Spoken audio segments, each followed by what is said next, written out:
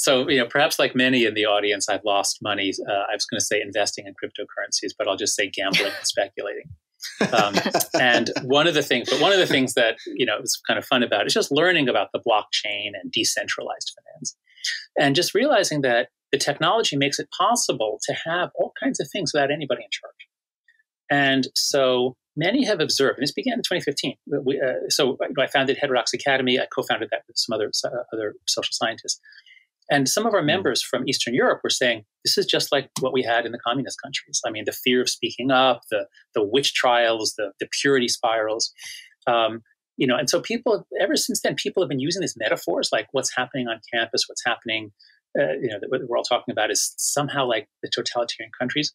But yet, there's no dictator. There's no totalitarian person or authority or office. So I think what yeah. we have is you might call DTOT. It's decentralized totalitarianism. And what that means is so so the difference between totalitarian and a dictator, as I understand, is a dictator tells you what he wants and he'll kill you if you don't do it. Um, but totalitarianism means it gets into the totality of your life. We're going to control how you raise your kids, what you think, the food you eat, the science, everything. We're going to control everything. And that's very hard to do. It's only been tried a few times. Certainly, the you know the Russians, the Chinese. Uh, there are a few, only a few countries that really try to control everything about your life.